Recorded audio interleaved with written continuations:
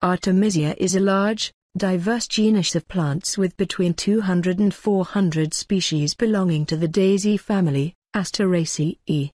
Most species have strong aromas and bitter tastes from terpenoids and sesquiterpene lactones, which discourage herbivory, and may have had a selective advantage.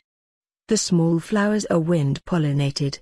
Artemisia species are used as food plants by the larvae of a number of Lepidoptera species. Artemisia annua is best sown in rows. That facilitates weeding, which has to be done mechanically or manually since no chemical crop protection agents are admitted. It is recommended to sow 1.4 to 2 seeds per square meter. The fertilizer requirements are on a low level.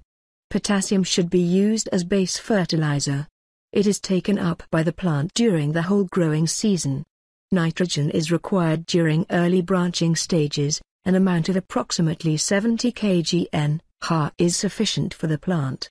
Phosphate on the other hand is required during the blooming stages. Phosphate fertilization can lead to a higher artemisinin content in the leaves. The application of salicylic acid on the leaves shortly before harvesting the plant also can raise its artemisinin content. Artemisinin is a sesquiterpene lactone with an endoperoxide bridge and has been produced semi-synthetically as an anti-malarial drug. The efficacy of tea made from A Annua in the treatment of malaria is dubious.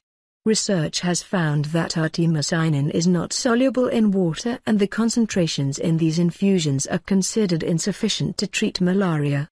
In 2004, the Ethiopian Ministry of Health changed Ethiopia's first-line anti-malaria drug from sulfadoxine, pyrimethamine, Fansidar, which has an average 36% treatment failure rate, to artemether, lumefantrine, Coartem, a drug therapy containing artemisinin which is 100% effective when used correctly, despite a worldwide shortage at the time of the needed derivative from A.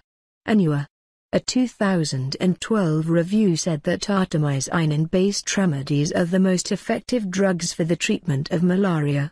A 2013 review suggested that although Artemisia annua may not cause hepatotoxicity, hematotoxicity, or hyperlipidemia, it should be used cautiously during pregnancy due to a potential risk of embryotoxicity at a high dose. Of the Asteraceae family, the silver mound Artemisia is the only member with a prostrate, spreading habit. Unlike others of the species, the silver mound plant is not invasive.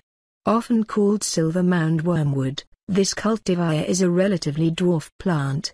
Scattered among tall, flowering summer blooms, the silver mound plant serves as a long-lasting ground cover, shading out growing weeds and further reducing silver mound care.